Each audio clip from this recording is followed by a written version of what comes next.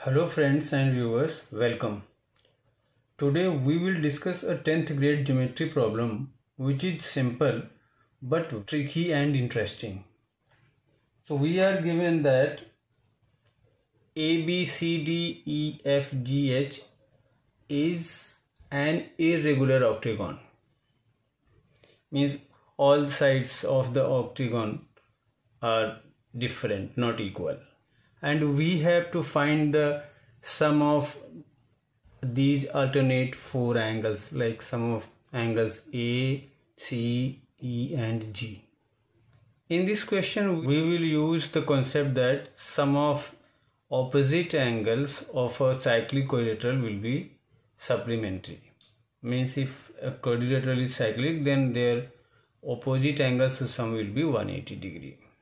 So to get that we can select any angle.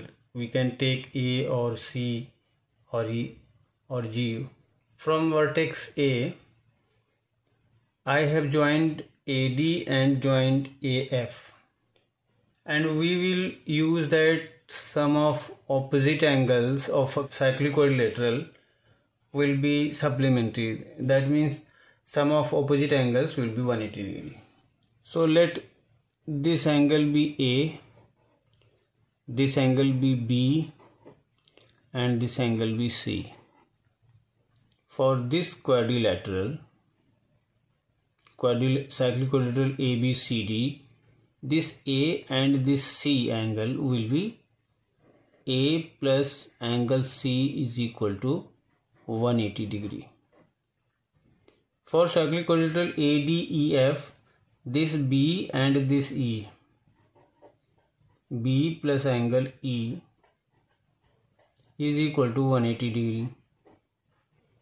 And for the cyclic quadrilateral AHGF this angle C plus G C plus angle G is equal to 180 degree.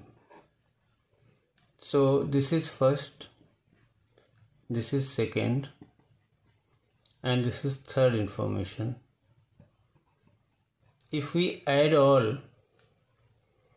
so we will get a plus angle c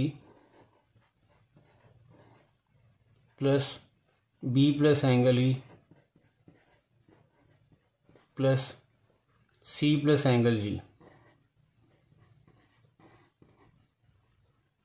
is equal to 180 plus 180 plus 180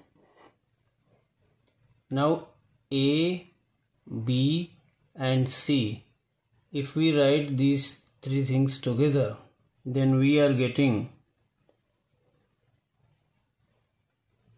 A plus B plus C together plus angle C plus angle E plus angle G angle C plus angle E plus angle G. Now this A plus B plus C is nothing but this angle A. This A, B and C, these A, B and C are parts of angle A. So if we add all these three parts, we will get angle A. So this is angle A. And the sum of these will be 180 plus 180 plus 180 which is 540 so finally we are getting that this angle angle A plus angle C plus angle E plus angle G is equal to 540 degree which is the answer